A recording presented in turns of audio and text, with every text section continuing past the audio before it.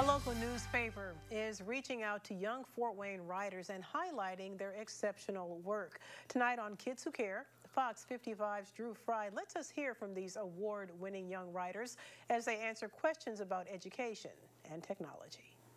It's a question community leaders still struggle with today. Should cell phones be allowed in schools? So the Fort Wayne Ink Spot newspaper is asking those directly affected. I wrote that phones shouldn't be allowed at school. I picked the statement no, that phones should not be allowed in school. And I think I picked that because I've just seen phones be used in a bad way in school. Uh, I wrote that cell phones should be allowed in school because it, it can bring a new way of learning and maybe a new look on how cell phones are used in the community and in school.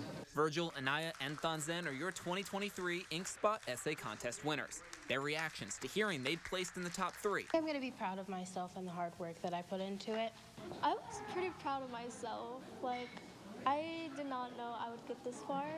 Very proud of myself and proud uh, that I actually did this and stepped out of my comfort zone. Many of these young writers didn't expect to be here, earning this sort of praise for their essays.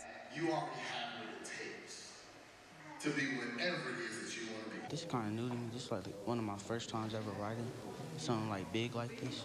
It was pretty scary at first, but um, getting used to it, like it comes over time. But they're inspired to learn that there are adults who are listening to what they have to say. I think it's cool knowing that people are looking at me and seeing what I'm doing good. It was pretty good knowing that people actually care and are, are willing to change how they look at uh, at like different uh, mindsets. And they all plan to continue writing for themselves and others for years to come. In Fort Wayne, I'm Drew Fry, Fox 55 News.